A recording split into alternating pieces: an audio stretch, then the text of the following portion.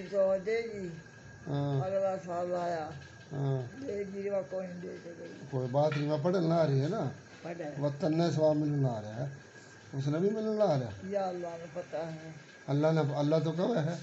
तेरी कुरान पाक में पढ़ने आ रही हाँ, तो स्वाब तने भी मिले हैं? दूसरा साल आ गया। हाँ और स्वाब उन्हें भी मिला है। हम कुरान पाक नमा लेकर मैं इसमें रखा है ना सही बात। दूसरे जो पढ़ेगा ना बच्चा हाँ। जो मौलवी पढ़ेगा जो नमाजी पढ़ेगा वो उसने तो स्वाब मिले मिलेगा। उतना स्वाब मैंने भी मिलेगा। सही बात। है? हाँ मेरी निगाह कोई नहीं रही भाई। नहीं को नहीं तो मोबाइल का दौर आ गया। तेरे दौर है ना जब साफ़ सुथरी बैठी हो ना अपने नूह से कह जाकर कि मोबाइल में ना मेरे सूरत ला दे। आवाज़ तो आवाज़ तो इतनी सुने है ना? हाँ। तलावत तो सुनती रहेगी ना? सूरज पढ़। ले। तस्वीर पढ़। ले अच्छी अच्छी। अल्लाह का नाम जितना लेगा उतना अच्छा। अरे बीमारी तंगी बुढ़ापा यह तो आना है। तो भी बालक थी छोटी सी हैं?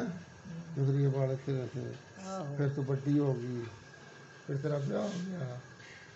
हमारे अब्बा के हैं? वो देख।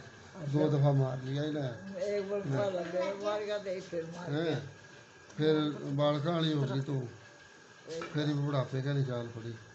तो जो अगर एक दरख्त छोटा सा होगा ना और वह फिर थोड़ी देर बाद बड़ा हो जाए फिर वो वह फल देने लग जाए हैं। है?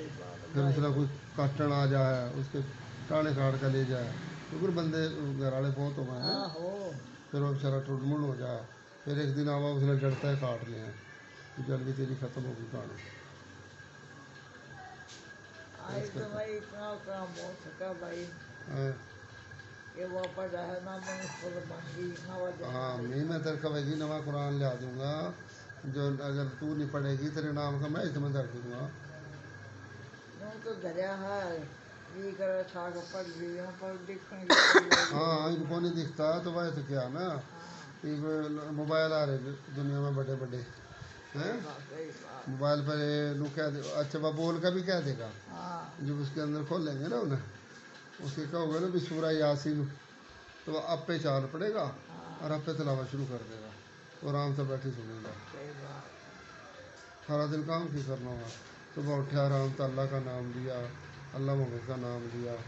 अगर अम्मी अल्लाह ज़रूर बख्शेगा पर अल्लाह लू का वह भी जितने जोगा इंसान है हाँ या तो उतनी तो मेरी बात